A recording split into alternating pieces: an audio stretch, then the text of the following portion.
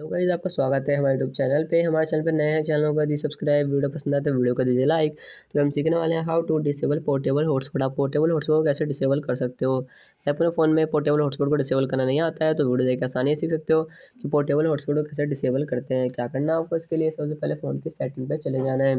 हम फ़ोन की सेटिंग पर आ जाते हैं गाइज़ फ़ोन की सेटिंग पर आने के बाद आपको यहाँ पे एक ऑप्शन दिखेगा पोर्टेबल हॉटस्पॉट का।